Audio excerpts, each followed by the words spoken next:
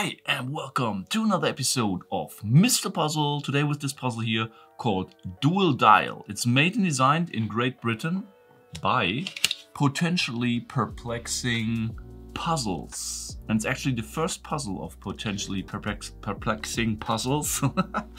A wooden puzzle box that you need to open up and release the task of the puzzle. Find your numbers. You will learn later what that means. I know it already because unfortunately when I recorded this review after solving this puzzle during copying it on my hard drive there occurred an error on the SSD and then all data was lost. Very unfortunate since um, this is, was actually a great solve I think. It took me around 27 minutes to solve this puzzle, find my numbers, but this recording is unfortunately lost now. I decided to still show you the solution of this puzzle, step by step, how this puzzle need to be opened up, because I think it's still a great puzzle and I still should show you how this thing works. So a review style that is actually like back to the old days and presents you only the solution of the puzzle, no solving progress. Just for you to know. The puzzle itself is made mainly out of wood.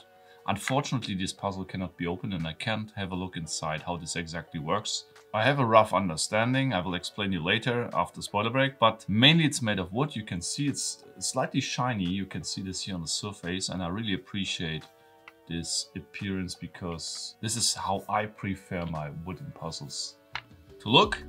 And cubical shape, two dials up here, one can be rotated, one is rather fixed. And these four dials or things in the front of here. A strange looking metal insert down here and a hole, a mysterious hole. Something that looks like a cover back here and another cover that looks uh, is placed like over here. That's it. And the rules that come in with the puzzle are no external tools, no banging, no spinning, absolutely no prying. And after spoiler break, I'm gonna show you the solution step by step how you solve the dual dial. Okay, so how is this puzzle solved? I cannot explain you exactly the inside as I mentioned earlier, but I can explain you how it's done. When you start solving this puzzle, you will notice after some time you can rotate. This one you probably will notice pretty much in the beginning. You can slightly lift it, yeah, like so. At some areas you can lift it even far further. So it's like this far over here and this far in another place, one or two places, which does not really help you, but it, it helps to confuse you. Let's, let's say it like this. Um, the second one is kind of hard to rotate, and if you do so, you will notice this one can be screwed off. You will probably find this immediately in the first minute or so. And then another thing are those dials here. This is a red herring, this is a red herring, this is a red herring, so or let's say like a thing added to confuse you. These are solid. I discovered basically right from the beginning because you could see some slight marks here of glue. Yeah? And they give you some more confidence that those must be locked. The only thing that's movable is this one and can also not be rotated. Has nearly zero free play, but it can be pulled out like so. Okay, and these are like the dual dials. This one, however, and you're all waiting for it, I know.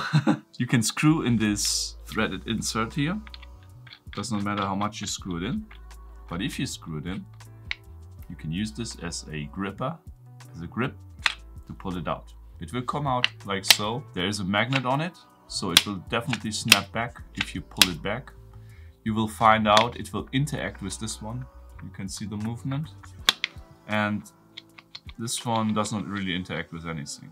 However, now starts the solving process because now you have everything together to be able to solve the puzzle. Before that, it's basically impossible. You need to rotate the puzzle. This puzzle cannot be solved by just manipulating on these two dials. You need to rotate the puzzle to solve it. Okay, the first step, and this is what takes some time to figure out and basically costs you the most time on this puzzle to solve it. The first step need to be executed in this orientation. Means you need to pull this out and pull this one out to a certain position.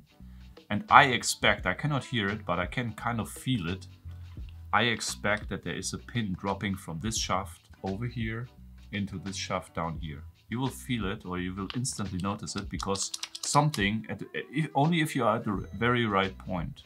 You need several repetitions of the solving process to, to know where this point is exactly. It will come into a condition that this one is now fixed. I cannot put it back in anymore.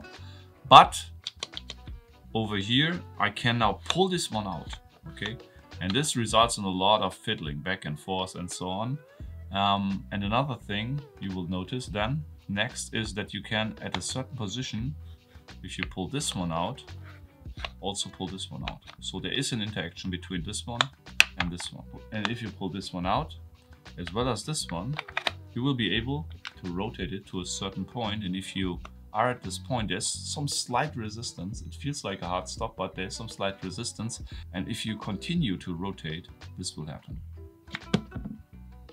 Which is a pretty cool feature. And actually it was, and it will give you this metal stick. Huh? This metal stick. Any idea what I can do with this?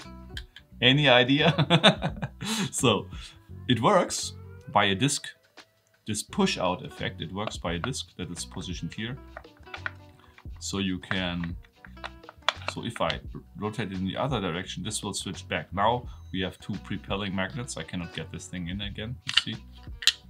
And if I turn it back, this disc will switch the magnets as right now you can get it back in. You can put, put the thing now inside here, but it will not help you. It will not interact with anything. So something is still missing. a well-hidden additional tool, in addition to this one, to be able to open the puzzle up, which actually is this lid here, by the way, that need to be opened. And to find this other tool, I will proceed in the following way. I need now to leave this thing outside as it is before or as it was before, I need now to leave this dial here in the outside position. Very important. Then perform the same move as I did it before with dropping the pin, but other way around. Means I need to drop it back into this one and fix this one. Which is kind of difficult to find because you need to, let's say, go back one step, but leave this one in the upper position. If I do so, and again, some fine tuning is required here. Then I can move this one out again like so. But this time I cannot only move it out in the same length as before. This one is fixed again, by the way.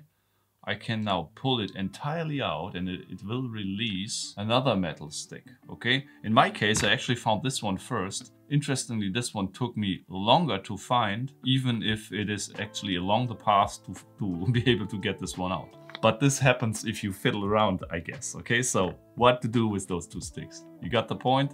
I mean, you're watching a puzzle channel, guys. Okay, so here we go. This one inside, this one inside. Now cannot get completely inside. And if I push it out now, this happens. I will open up this lid of this potentially perplexing puzzle and get this one out again. The puzzle is solved. By the way, the target was find your numbers. And these are my numbers. Unfortunately, I, I tried to, let's say, define my number by doing this. But how, but how to read a dice like this? Completely confused about this one. Probably it's the side that's pointing upwards, which means this would be a 5 and this would be a 4, I guess. So 5, 4 are my numbers, which is probably right, I guess now. I put it back in, lock it up, get this one out again, stick in, make the pin drop again to pull this one out, twist this one to open this one up. Here we go. Put the rod inside, flip it back, cover on the top, this one down again, drop the pin back in place, like so. Unscrew. Screw. Puzzle is back in the initial condition. I think for a first puzzle, definitely great. Difficulty rating I would rate with a 3 out of a maximum of 5 on my personal difficulty rating scale. The only complaint I have, or the only thing I regret this puzzle, and I mean, you know me, I would like to know exactly how everything works. In this case, it's impossible because everything is glued together. I can't have a look inside. It cannot be opened up. And this is one thing I really regret that I cannot understand in detail how it works. Does not making it a bad puzzle, but a small remark that maybe can improve with further puzzles by potentially perplexing puzzles. I can't remember that name. Let me know what you think about this detail. What do you think about the puzzle? What do you think about this review? And that's it for today. Until next time, keep on puzzling!